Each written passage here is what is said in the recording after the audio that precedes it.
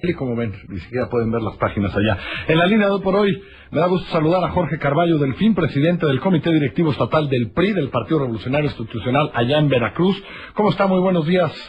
Buenos días, Carlos. Buenos días a todos los radioescuchas. El gobernador Herrera eh, se ofendió por el video, mandó al IFE, pero ustedes no. Fíjate que este tema es un tema que nosotros hemos señalado de suma importancia para la democracia en México. Mientras que el Partido Acción Nacional se ha agotado en las ideas, en las ofertas, y bueno, ahora siendo gobierno federal, y un día Eh, perdón. partido una plataforma política. Señor Carballo, nada más esto. de la- mi pregunta tiene que ver con Internet y YouTube, no con el gobierno federal. Tiene, de- mi primera pregunta era, ¿ustedes por qué no están, ustedes por qué no empezaron ustedes el procedimiento, sino Fidel Herrera, contra Porque estos videos? Indiscutiblemente, el gobernador del estado de Veracruz eh, tenía que actuar él mismo por ser un asunto calumnioso. Acción Juvenil del PAN es el autor del video que el IFE ordenó bajar a YouTube para, por hacer una campaña negra al primer priista de la entidad.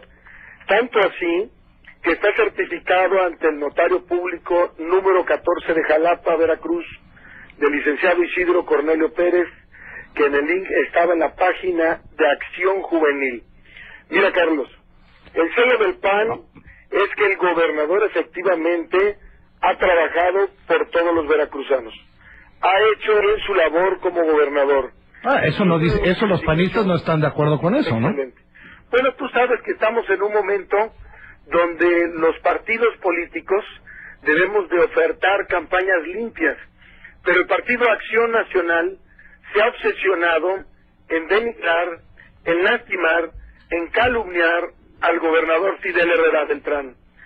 Si es cierto que no hay las facultades para que el Instituto Federal Electoral baje u ordene a YouTube para que esto no vuelva a suceder, no solamente con Fidel Herrera Beltrán, sino con todos los partidos y todos los actores políticos de este país, si bien es cierto, el PRI, a través de sus diputados federales, vamos a proponer que este tipo de lagunas jurídicas O sea, a ver, a ver, ¿cómo es? Entonces el PRI sí va a proponer que nos convirtamos en un país que pueda censurar Internet. Esa es nota. Como en China o en Turquía. censurar, más allá de censurar Internet, que sí regule las campañas y que tenga las facultades O sea, también en Internet. medios electrónicos. No, me encanta esto que me dice porque ya me dio nota. O sea, el PRI, usted me está diciendo que el PRI veracruzano va a proponer que la, que la ley mexicana pueda censurar lo que pasa en las redes sociales en Internet.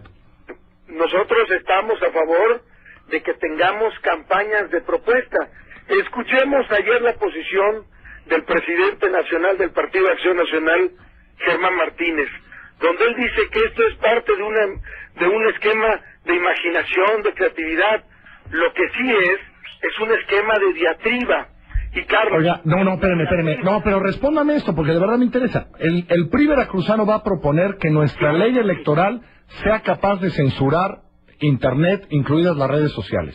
¿Es lo cierto? vamos a hacer, mira, en estricto sentido en Internet y en estricto sentido sobre temas de campaña.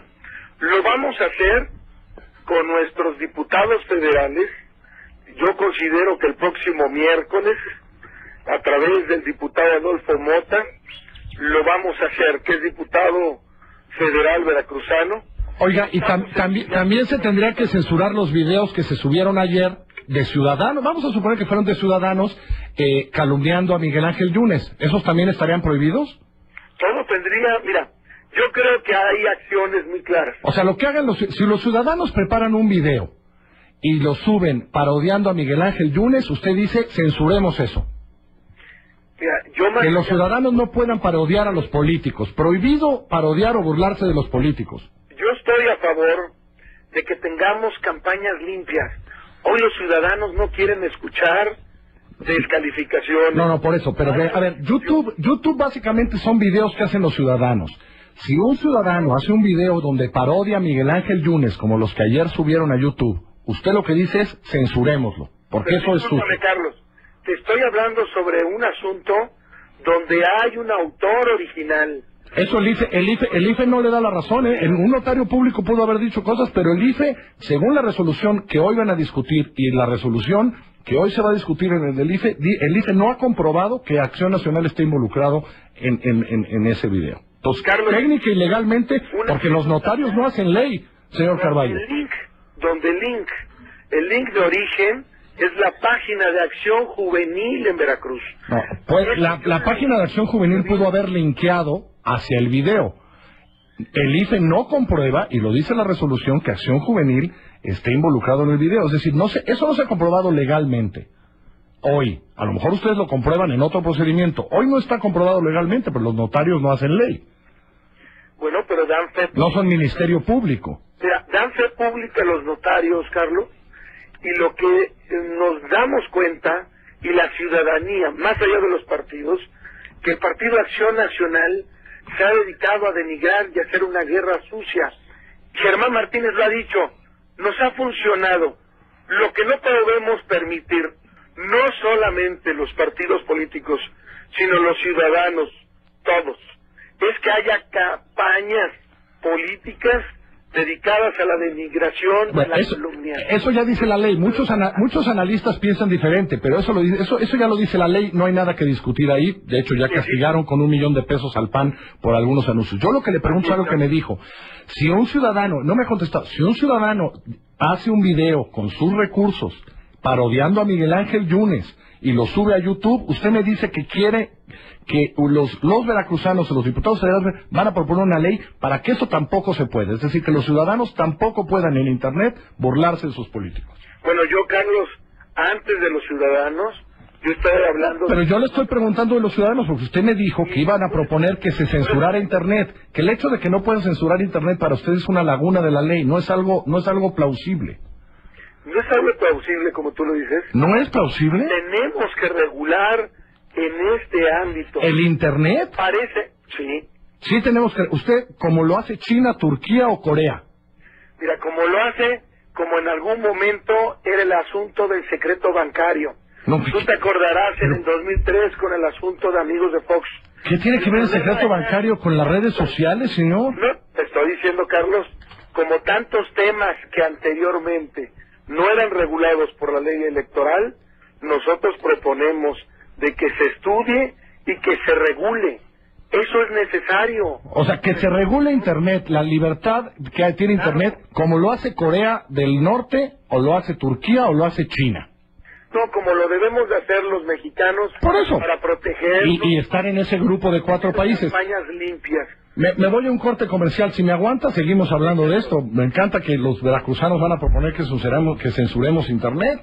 Sigamos hablando de esto. Sigo conversando en la línea de hoy por hoy con Jorge Carballo del FIN, presidente del Comité Directivo Estatal del PRI en Veracruz. Estamos hablando de esta polémica que causó un video, un video que ya ha sido bajado de YouTube, pero ya está en otras páginas, que, que hablaba de Fidel Herrera. Y me decía que los de, me decía que los diputados federales de Veracruz, por lo menos en la Cámara de Diputados, van a proponer una ley o, van a proponer modificaciones a la ley electoral para que sí se pueda intervenir en Internet. Y yo le preguntaba al señor eh, presidente del PRI allá en Veracruz, pues si, si le parecía bien, pues, en un espacio de libertad y que solo algunos países, Corea del Norte, Turquía, China, países que no se caracterizan por su libertad de expresión, si queríamos estar en ese, en ese equipo. Se lo pregunto otra vez, señor Carballo, ¿queremos estar en el equipo que regula las redes sociales? Carlos, lo que nosotros nos hemos referido es que el Instituto Federal Electoral tenga atribuciones o facultades para regular las campañas en Internet. Esto no tiene nada que ver, y vuelvo a insistir, en los temas de censura, pero sí en la guerra sucia en la que está empeñada el Partido Acción Nacional y en el tema fundamental de cuál debe de ser la oferta política de los partidos políticos y los fines de los partidos políticos. A eso me refiero, Carlos, y como siempre, estoy a tus órdenes. Bueno, muchas gracias, muy buenos días. Gracias, Carlos, y saludos a todos los radioescuchas. Hasta luego. Muy amable, Carlos. Hasta luego, buenos días. Es Jorge Carballo Delfín, presidente del Comité Directivo Estatal del Partido Revolucionario Institucional.